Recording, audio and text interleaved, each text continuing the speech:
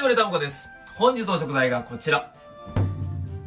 新生姜。はい。久しぶりに魚以外のものをやっていこうと思います。えー、おうちで本格レシピのコーナーですね。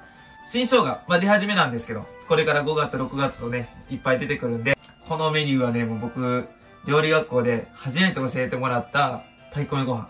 新生姜ご飯ですね。めちゃくちゃ美味しいです。感動した覚えがあるんですよ。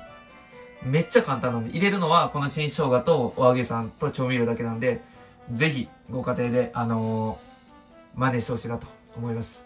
あとですね、えー、ガリ作っていこうと思います。あのー、お刺身とか結構作ってる割にね、あしらいが全然僕ないんで、まあそういう時のためにね、えー、せっかく新生姜の時期なんで、ガリを作っていこうと思います。えー、僕のチャンネルは釣ってきた魚をさばいて調理する動画を主に配信しております。魚さばきに興味のある方、また今日の動画を見ていただいていいなと思っていただける方はぜひチャンネル登録、高評価よろしくお願いいたします。では早速やっていきます。はい、ではやっていきます。えー、この赤いところですね、はガリに回したいので、そこはガリに回すんですけど、とりあえず新生姜ご飯用のところを取って、残りは全部ガリにしちゃいます。で、ちょっと茶色くなってるやつとかね、スプーンとかこの包丁の手前とかでね、こそぎ取ってあげた方がいいですかね。で、えー、必ずステンレス包丁ですね。この生姜とか、変色の元なんで、鉄の包丁とか使うとね、鋼の包丁か。まず、新生姜ご飯用ですね。皮むきます。剥かないでやる人もやりますね。新生姜はね、結構皮薄いんでね、剥かなくても確かにいいとは思う。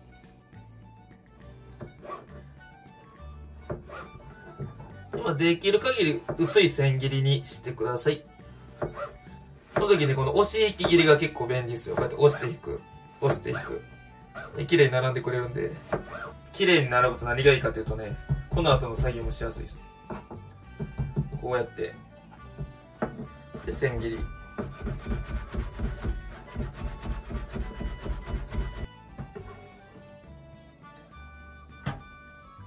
結構綺麗でしょ？はいで、一回水にくぐらせたらもう変色は基本的にしないんで、ざるにあげておいてください。水切っておいてください。で続いてガリですね。この茶色いところをね、こうやって包丁でね、こそいで。ちょっとね、乾燥して筋張ってるとことかがあるんで、そういうのは外しといてあげた方がいいですね。で、あとは好みの大きさに薄く切っていくって感じです。あ、で、あと繊維に沿った方がいいみたい。この切り方危ないから全然真似しなくていいんですけど、ここのほあのまな板のヘリを使って包丁を安定させて、動かして、で、ちょっとずらす。なんかね、これ学校で教えてもらったんですけどね、めっちゃ早いとめっちゃ早いです、これ。僕は、要習得せんかった、これは。恐る恐るよ。で、大して薄く切れんしね。スライサーある人はスライサーとかでやってもらったら全然構わないです。全然薄くない。これは、このやり方はこれで終了や。時代は押し引き切りですよ。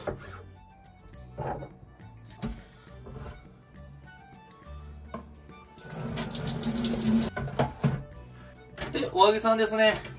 で、もちろんあの、お湯で油抜きしてもらってもいいんですけど、炙るのも結構ありです。香りが良くなるんでね。こうすることで、この炊き込みご飯になった時に、結構揚げの存在感が残るんですよ。千切りで。はい、ではガリ仕上げていきますね。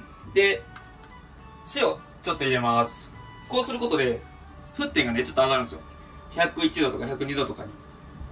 じゃあ沸いてるところにガリ入れます。で、目安としては1分ぐらい。分厚かったら2分ぐらいですね。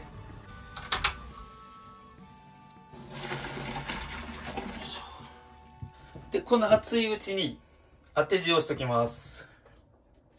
これで余分な水分が出るようになります。ちょっと混ぜといてね。で、混ぜてちょっと粗熱を取っときます。で新生姜ご飯もね、仕上げていきます。えー、文明のりき。で、薄口醤油ですね。今ね、10cc 入れました。小さじ2杯ですね。これで、ちょっと薄いな。20cc にしてみよう、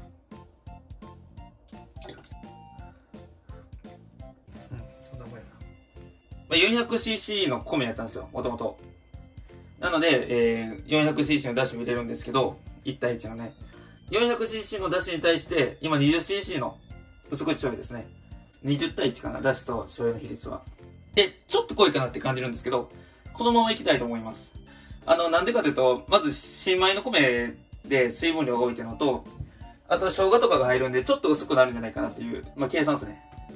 これでいきたいと思います。米をあらかじめ洗っておきました。やっぱ溢れそうよな。毎回これ思うよな。まあいいか。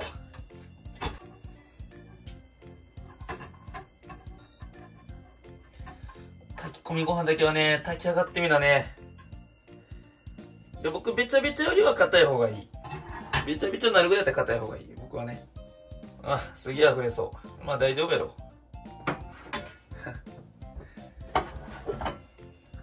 じゃあこれ炊いていきます。10分で沸騰するぐらいの火力よな、確か。えーと、ではガリのね、甘酢を作っておきます。酢2に対して砂糖1の量で、酢200です。砂糖が 100cc 分。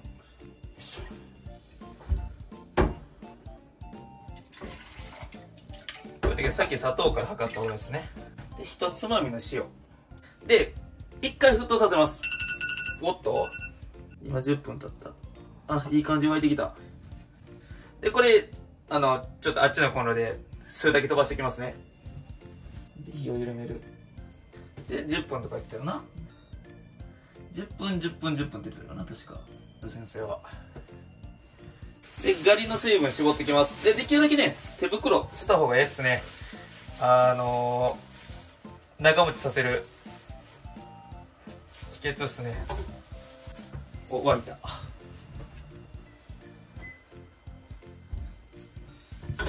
甘酢が沸きました。甘酢を入れると。おぴったりぐらいの量やね。じゃあこれでつけときます。一応ね、あと、タイマー的にはね、あ、消えた。あとタイマー的には10秒ぐらいで、耳当てたらカチカチいいようんですよ。めっちゃいい感じだと思うだから。OK。で、ちょっとカチカチ言いよって、焦げた匂いはしてないから、おこげはできてないと思う。だから、ここで攻めよう。火を詰めて焼く軽く焼くとか言っとったあの時で下から火を当ててる焼くという作業この煮る蒸す焼くというね3工程複合加熱というのが炊飯っていう言葉になります。なるほど。はい終了。よし。これで蒸らしてね。あと10分。蒸らしたら出来上がりですね。よし。でも仕上げていきますね。もう蒸らしてる間は待てへんからもうマットまで引いちゃったんですけど。ガリ。あと1分ぐらいなんで1回ほぐします。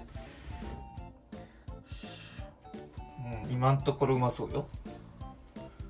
ほおめっちゃいい感じちゃう？やっぱなもうちょい米の量減らした方がいいな。今ね、下の方におこげあるのを確認しましたね。完璧ちゃうか？ほ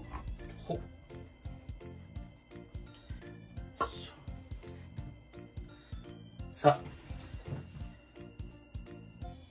オッケーよいしょ。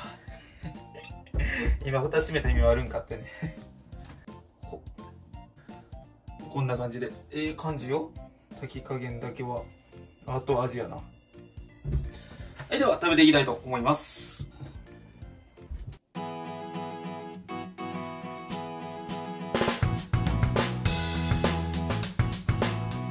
はいではいただきますさあ初物新生姜ただきます。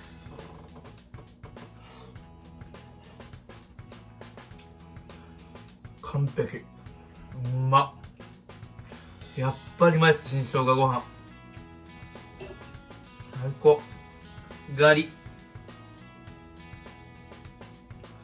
手作りね。うん。美味しい。もうほんまにガリっすよ。寿司屋のガリ。ぬるいけどねまだ。よし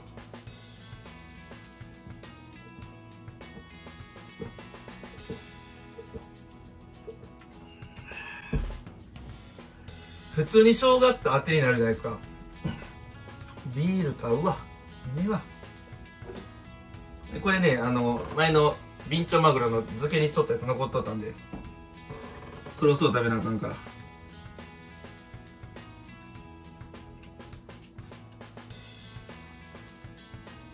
うんうめえな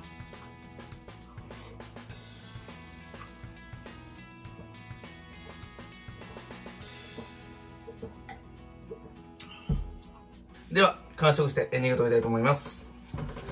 はい、ごちそうさまでした。めちゃ美味しかったです。やっぱ米は最強っすね。新生姜ご飯が最強だ。あのー、まあ、料理学校行ってる時に、初めて、多分初めて教えてもらった炊き炊き込みご飯やったと思うんです。時期的にもね。